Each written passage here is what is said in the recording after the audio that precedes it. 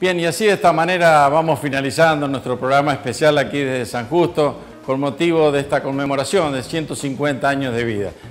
Quedan etapas de mucho desafío, desarrollo, que ojalá aquí como en algún momento en 1888 fue la llegada del ferrocarril que marcó un hito importante en el desarrollo en este pueblo como en tantos de nuestro país. Ojalá esta localidad pueda insertarse a las ventajas y esto de estar integrado en el corredor del ferrocarril Belgrano y también la llegada del gas, natural, todas etapas que por supuesto no cabe una duda serán desafíos para las próximas décadas, como también en algún momento tengan la autovía sobre la Ruta Nacional número 11, etapas que será responsabilidad de los gobernantes de hoy y de los que vengan en el futuro y de las entidades intermedias tener el protagonismo necesario y luchar por todas estas obras que no cabe ninguna duda que le determinarán un desarrollo muy importante. Aprovecho a saludarlo a Daniel Gramaglia y su hermana Elizabeth del Hotel California, que todos estos días que estuvimos trabajando por aquí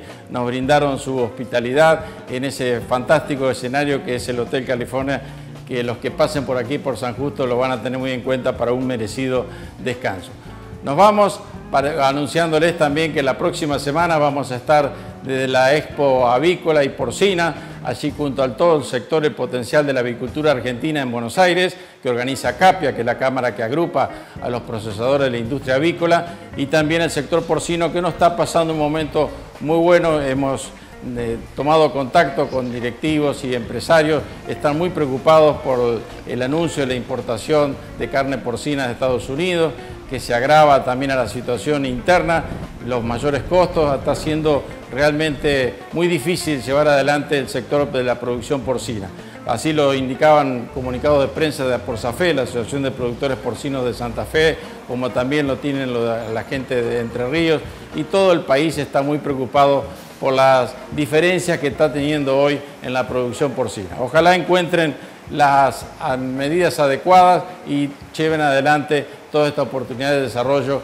que es muy incipiente y que tiene un gran futuro. Les propongo hasta reencontrarnos entonces la semana que viene. Muchas gracias. Los especiales de Martín Bustamante.